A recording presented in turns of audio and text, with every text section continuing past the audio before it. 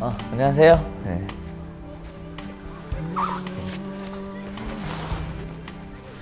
저도 곡을 쓰면서 송라이터들의 커뮤니티를 형성하는 거에 어, 좀 일을 감당하고 있어요. 5월 달에 주님의 교회 판교성전에서 한 두 달 정도 기간으로 송라이팅 스쿨을 개최합니다. 물론 스카프레너 목사님께서 대부분 많은 강의를 감당하시게 되고요. 이제 새힘 얻으리나 뭐 겸손의 왕이라든지 나의 사랑이 더욱 깊어가네 이런 노래 만든 어, 세계적인 songwriter죠 브렌튼 브라운이 이번에 오셔서 집중 강의를 감당하시게 돼요. 그리고 잘 알려진 작곡가이며 사역자인 안드레시 목사님도 이번에 오셔서 강의를 해주시게 됩니다. 그냥 작사 작곡이 아니라 예배곡 작사 작곡입니다. 예배곡을 쓴다라는 것에 있어서 성경적인 원리와 배경들을 우리가 좀 배우는 시간이 있게 될 거예요.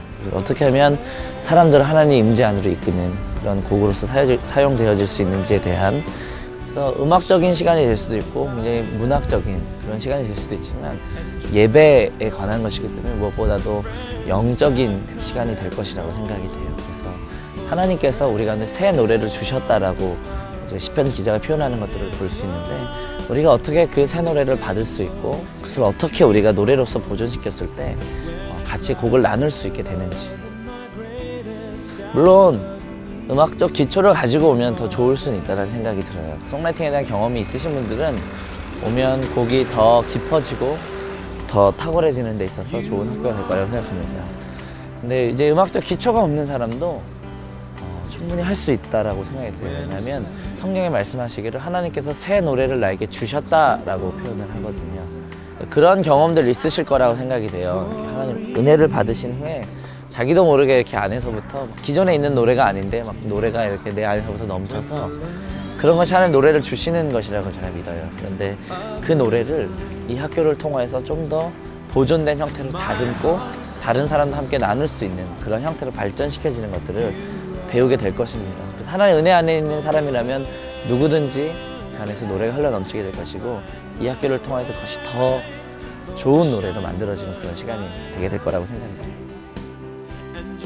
아, 송라이팅을 하면 많은 유익이 있어요. 특별히 예배 사역을 하시는 분들에게는 혹은 예배 인도하시는 분들에게는 그 사역의 깊이와 특별히 가지고 있는 메시지가 그 곡 안에 그대로 녹아들기 때문에 훨씬 더 파워풀하고 또 깊이 있는 사역을 할 수 있는 또 굳이 예배 사역자가 아니라고 하더라도 말씀 가운데 내가 알게 된 그 하나님을 노래로서 담아서 자기가 그 노래를 가지고 예배할 때 다른 사람이 만든 노래를 가지고 예배하는 것보다 더 깊은 예배들을 경험할 수 있게 될 것입니다.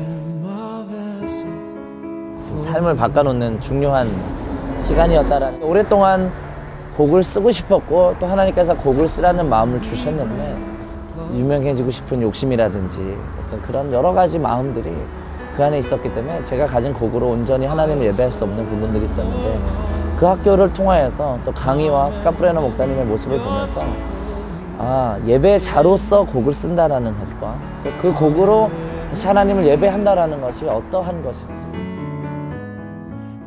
한번 스카프레너 목사님 이렇게 도전하신 적이 있어요. 그러니까 당신의 노래가 어떤 앨범에도 실리지 않고 혹은 아무에게 들려지지 않더라고 하더라도 하나님께만 그 노래가 들려진다고 해도 당신은 그 곡을 가치 있게 쓸 수 있겠는가라는 도전을 했는데 본인이 쓰신 대부분의 노래는 하나님과 자기 자신만이 아는 곡이 더 많다.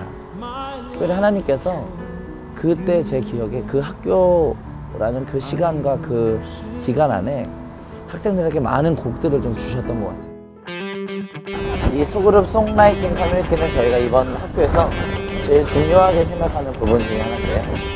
일단 지역과 나이와 그 또한 그런 songwriting 경험을 우리가 좀 고려해서 학생분 중에서 한 다섯 명을 한 그룹으로 묶어드립니다. 그리고 레위지파 예배 사역자가 그 팀 안에 리더로 들어가게 됩니다. 뭐 음악적인 부분이나 가사적인 부분이나 이 레이지파 사역자의 어떤 디테일한 클리닉이 어, 그 안에 있게 되는 거죠. 그래서 좀더 세세한 강의가 그 안에서도 작은 강의들이 이루어질 수 있고요.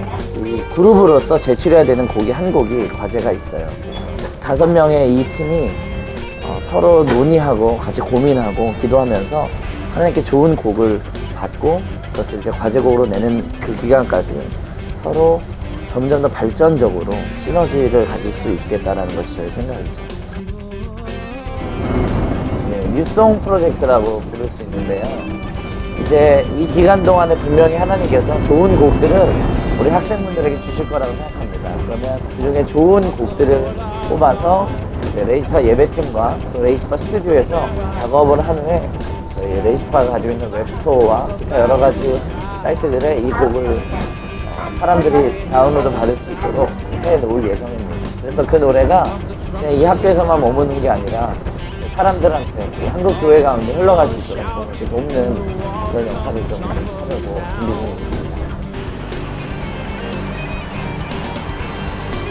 중입니다.